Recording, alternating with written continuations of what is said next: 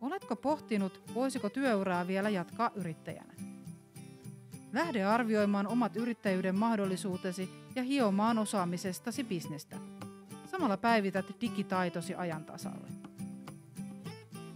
Matkasi eläkkeeltä yrittäjäksi lähtee tästä. Hae mukaan Suomen yrittäjäopiston maksuttomaan verkkokoulutukseen.